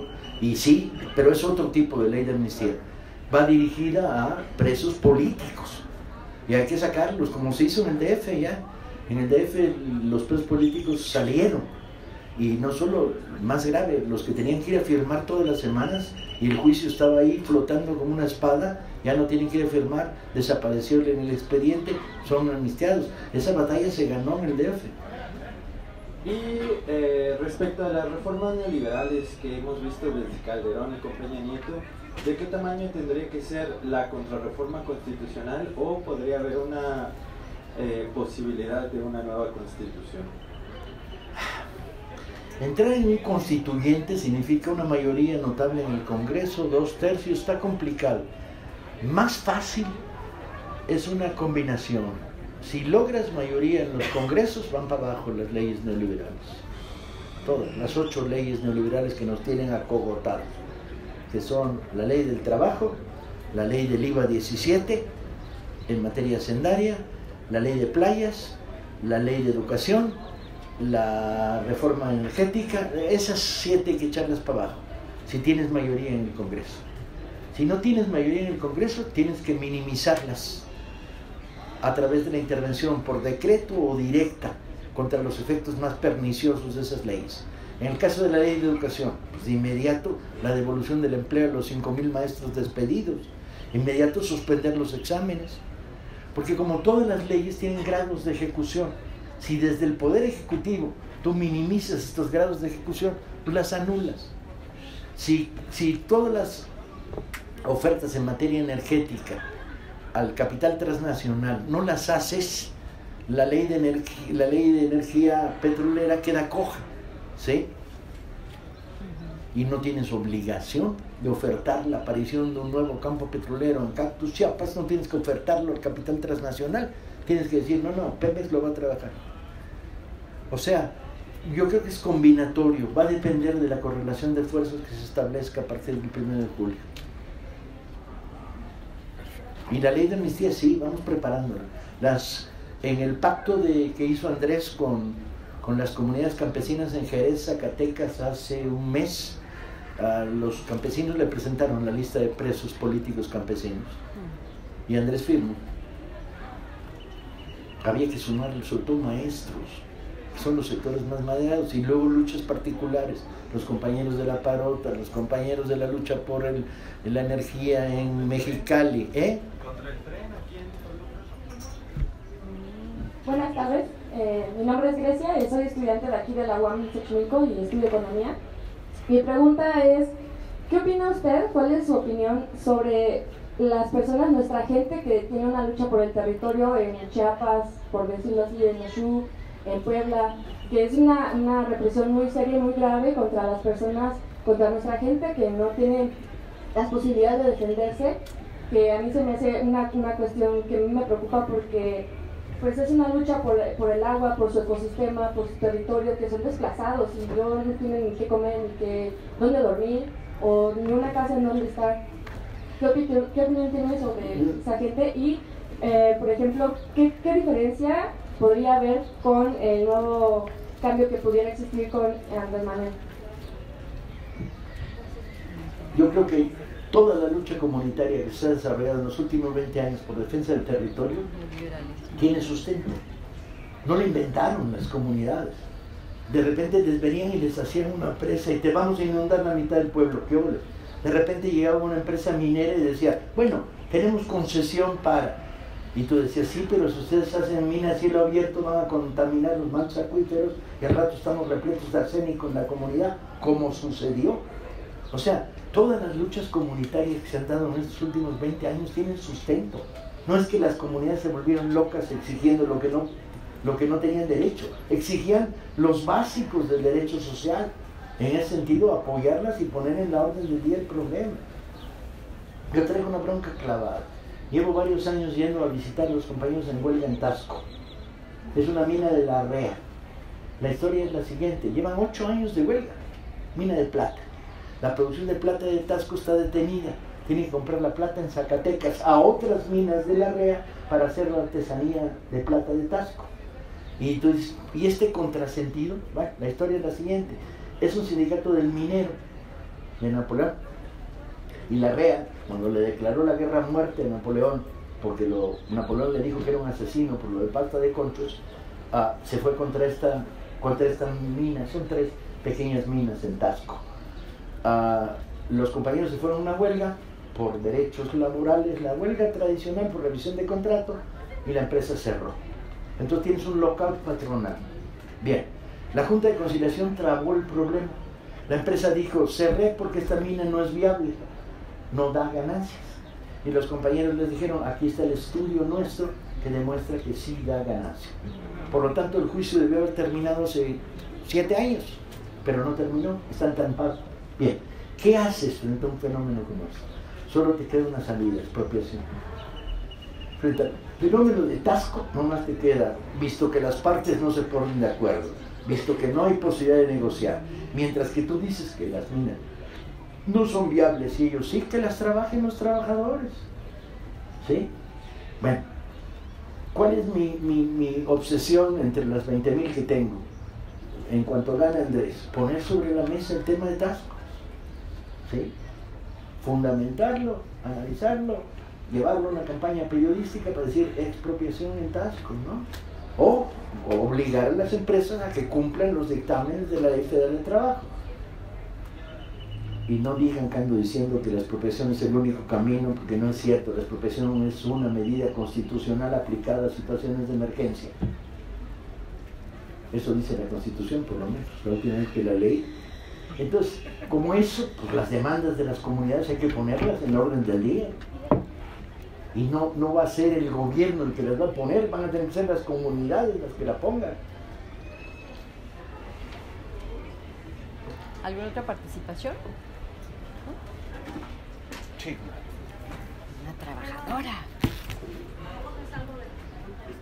Este, yo quería preguntarle qué piensa usted de los jóvenes que ahora tienen que este, trabajar para su jubilación, si se va a seguir con este problema o, o lo van a resolver. Porque sí me preocupo por los estudiantes, ¿no? los nuevos, los viejos, bueno, los niños, los, los niños. Tenemos que volver a una ley federal de trabajo que reconozca que el contrato crea antigüedad y que la antigüedad da derechos futuros a jubilación. Si no lo logramos, está en el aire. La palabra desaparecerá de nuestras vidas. ¿Qué compañero quiere participar? Este, bueno, yo agradecer la charla y un poco preguntar acerca, ahorita que está la cuestión de las dudas. A mí me hace y me inquieta mucho, eh, sobre todo en este proceso coyuntural, ese juego de máscaras que se han generado en, en las comunidades, sobre todo, y por el fenómeno Morena, ¿no? Eh, a mí me preocupa mucho y va a colación con el, efecto de los presos políticos porque desde las luchas comunitarias en defensa del agua, del territorio, de todo lo que se suscita en las comunidades indígenas, a mí me parece que se han montado muchos, muchos del PRD, ¿no? Hablando ya con esos tintes a esta cuestión de Morena, ¿no? Gente militante que ha de alguna u otra manera criminalizado y sobre todo hoy que está mucho la cuestión de la criminalización de la juventud, el juvenicidio y toda esta cuestión sistemática y estructural que de alguna u otra manera nos lacera a los estudiantes y en general a la juventud en México, eh, nos hemos enfrentado a este tipo de cuestiones, ¿no? Como lo institucional también, de alguna u otra manera, tiene este juego, estas doble máscaras, un juego de máscaras que de alguna u otra manera hoy se ponen la máscara de Morena, pero que en el fondo están, eh, digamos, coludidos con esta cuestión de la ilegalidad, de la injusticia. ¿no? A mí me preocupa mucho eso porque es un panorama que creo que estamos viviendo no solamente los, eh, los estados del sur, Oaxaca, soy originario de Oaxaca, pero Guerrero, todo esto estamos viendo este fenómeno también. A la parte que se está generando una esperanza, también se está generando o se están montando estas injusticias en voz de esto, ¿no? Entonces a mí me preocupa este juego de máscaras, ¿qué se va a hacer? Que de alguna u otra manera va a ser postelectoral este fenómeno, ¿no? De alguna u otra manera hay que revisar también estos aspectos, ¿no? Si bien si existe esta cuestión de una esperanza, pero también hay que revisarla de fondo, no me parece eso. ¿Qué van a hacer? ¿Cuál es la propuesta con este tipo de personas que se han eh, sumado o se han aprovechado de esa cuestión, ¿no? Sí, primero yo no soy portavoz de Morena, ni soy portavoz de Andrés, sabido y público es, no formo parte en estos momentos del Comité Nacional, soy miembro del Consejo este, de Morena. Y tengo una voz y la expreso, para mi desgracia, mejor si fuera mudo me caería menos tierra, ah, pero un poco me, te remito a la conversación que tuve con el Congreso de los compañeros de la 22 en Oaxaca me invitaron, magisterio. Y yo al final hacía una pregunta, ¿con quién quieren dialogar dentro de ocho meses? ¿Con Meade? ¿Con, con Anaya? o con Andrés. No, hay solo, no es un proceso puro, al revés. Ah, hay candidaturas, decían los compañeros de Oaxaca, que no nos gustan, candidaturas que no nos gustan. Bueno, pues díganlo. ¿sí? Ah, pero lo que está en el centro del debate es las posibilidades del primer paso y no que haya garantías. ¿Alguien quiere garantías? Que se compre un pinche pasaporte de Nueva Zelanda, compañeros. En México no hay garantías, hay lucha política social. Alguien dice, la lucha política social se va a suspender si gana Andrés. Pues me parece delirante. Van a crecer las demandas de las comunidades. Van, voy a estar chingando con el problema de la huelga de Tasco. ¿Sí? Este, que, en este rejuego de fuerzas, ¿qué posibilidades hay de que el proceso avance algo? ¿Poco? ¿Mucho? ¿Muchísimo? No lo sé. Yo tenía una bola para adivinar el futuro, de cristal, chingoncísimo. Le salía un, le apretabas un botón y soltaba humo. La había usado originalmente Carlos Marx para pronosticar el socialismo en Inglaterra en 1860. Y este, no era, digamos, muy chingona por eso pero fue a jugar boliche y me la chingué, compañero. Mi capacidad para pronosticar está cerrada. Como la tuya, como la tuya. ¿Qué va a pasar? Sepa su madre. ¿Dónde vamos a estar? No, está claro. En principio yo creo que la dinámica es vamos a ganar estas elecciones y vamos a mantener las demandas de la sociedad. Dentro de un año que estaremos discutiendo en lugares como este, estaremos discutiendo ¿Por qué la libertad de cátedra tiene que tener el contrapeso de la libertad de crítica en las universidades? O sea, está garantizada la libertad de cátedra, pero el derecho del alumno a decir no estoy de acuerdo está garantizado o puede ser reprimido. ¿Estaremos discutiendo eso o estaremos discutiendo quién sabe qué? La amnistía para la, revisión del caso de la nueva investigación que se reabre. Eh, vaya usted a saber. Estaremos discutiendo si la educación superior requiere más fondos, cómo y por qué. ¿Sí? Vaya usted a saber. Pero en el horizonte de lo posible, si se gana, eso, esto cabe, estas ideas, ¿no? Lo digo.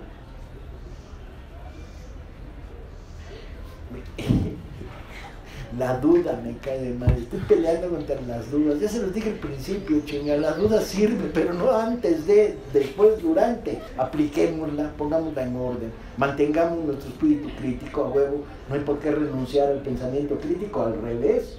Hay que estimularlo y fomentarlo. Pero pongámosla por atrás. Es como lo que les decía hace un rato. Me voy a casar mañana, pero me va a ir de la chingada. Es que pues a lo mejor puede, que... Bueno, pues eh, tenemos un aplauso a Caterina Sotayo.